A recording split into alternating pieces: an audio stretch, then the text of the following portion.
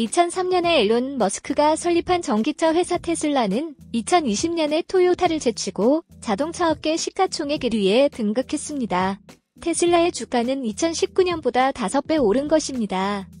테슬라의 성공 요인 중에 하나가 기가팩토리 확장에 따른 규모의 경제입니다. 테슬라는 현재 5개의 기가팩토리를 건설하거나 건설 예정에 있습니다. 기가팩토리 1 기가 팩토리 1은 미국 네바다주에 위치해 있으면서 테슬라 차와 배터리를 같이 생산하고 있습니다. 기가 팩토리 1 완공 시에는 태양광 풍력만으로 자동차와 배터리를 제작할 수 있게끔 설계되어 있습니다. 기가 팩토리 2 미국 뉴욕주 버팔로에 있는 두 번째 기가 팩토리는 자동차 공장이 아닌 태양전지를 생산하고 있습니다. 기가 팩토리 3 중국 상하이에 있는 세 번째 기가 팩토리는 모델3를 생산하고 있습니다.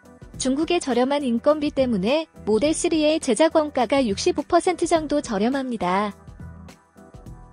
기가팩토리 4 유럽 자동차 산업의 심장인 독일에 기가팩토리 4를 건설하였습니다.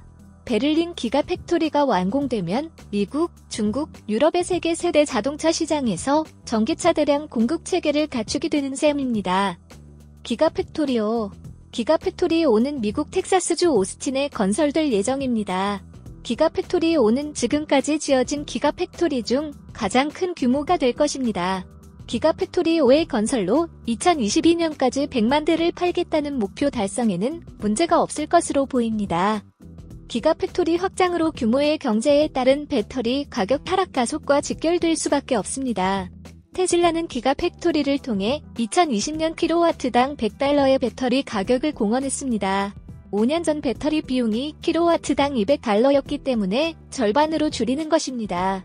배터리 가격 하락은 곧바로 전기차의 가격 경쟁력 상승으로 연결되어 전기차 확산에 결정적인 역할을 하는 것입니다. 20세기 초 포드 자동차가 컨베이어 벨트의 규모의 경제로 자동차를 대중화한 것처럼 21세기의 테슬라는 기가 팩토리의 규모의 경제로 전기차의 대중화를 선도하고 있습니다. 그런 규모의 경제가 무엇인지 알아볼까요?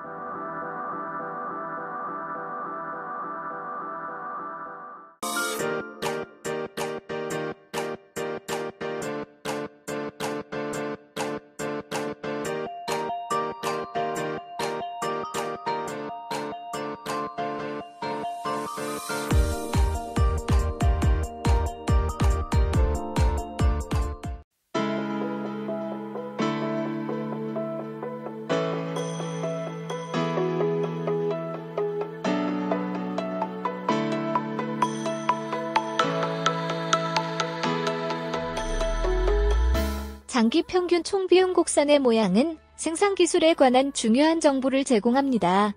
특히 기업의 생산 규모가 변함에 따라 비용이 어떻게 변하는지 알려주죠. 산출량이 증가함에 따라 장기 평균 총 비용이 하락하면 규모의 경제가 존재한다고 말합니다. 반대로 장기 평균 총 비용이 상승하면 규모의 불경제가 존재한다고 말하죠. 그림에서 볼 수 있듯이 자동차 회사의 산출량이 상대적으로 적을 때는 규모의 경제가 존재하고 산출량이 중간 수준일 때는 규모에 대한 수익 불변이 작용하며 산출량이 너무 많아지면 규모의 불경제가 나타납니다.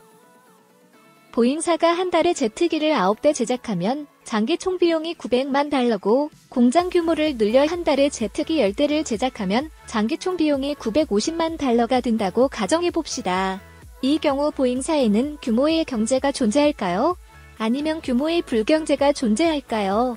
9대를 제작하는 경우 장기 평균 총 비용은 100만 달러이며 10대를 제작하는 경우 장기 평균 총 비용은 95만 달러이므로 산출량이 증가함에 따라 장기 평균 총 비용이 100만 달러에서 95만 달러로 줄어듭니다. 규모를 늘릴수록 금액이 줄어드니 규모의 경제가 발생합니다.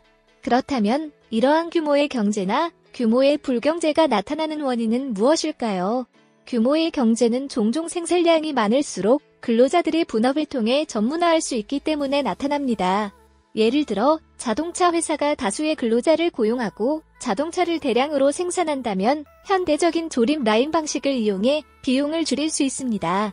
규모의 불경제는 거대한 조직에 일반적으로 나타나는 업무 조정 문제 때문에 발생합니다.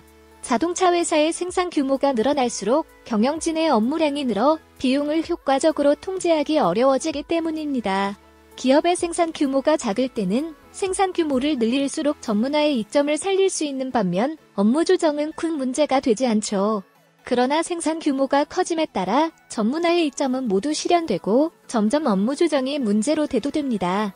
따라서 생산 규모가 작을 때는 생산량이 증가함에 따라 장기 평균 총비용 곡선이 하락하다가 생산 규모가 커짐에 따라 장기 평균 총비용 곡선은 다시 상승합니다.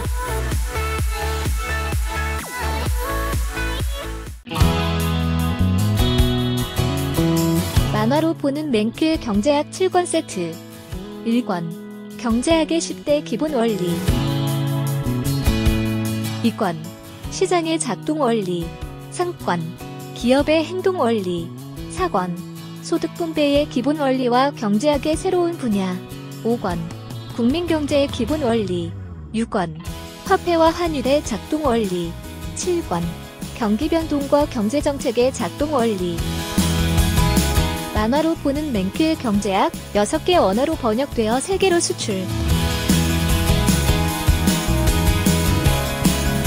한국을 넘어 세계인들이 경제학을 즐깁니다.